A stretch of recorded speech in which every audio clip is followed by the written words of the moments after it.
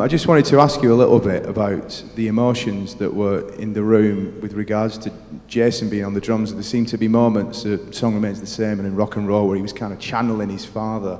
And I wondered how it made you guys feel about having Jason there and, and not having John there. What kind of emotions were going through your mind? Well, Jason lost his father when he was a, a young boy, and um, and he's been struggling with that for a, you know from that time onwards. And uh, the thing is that his father encouraged him to play the drums from when he was tiny, weeny kid, you know.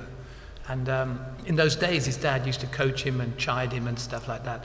But when his dad left him, he was left to his own devices, but always referring to his dad and also referring to the great drummers, you know, that he knew. So it was kind of inevitable over the years. There's always been a kind of rub between us all, isn't there, really? Mm-hmm. Be- between us as friends and family and stuff like that. So it was appropriate and it was wonderful. And also, his vigor was so fantastic too. He drove us, you know.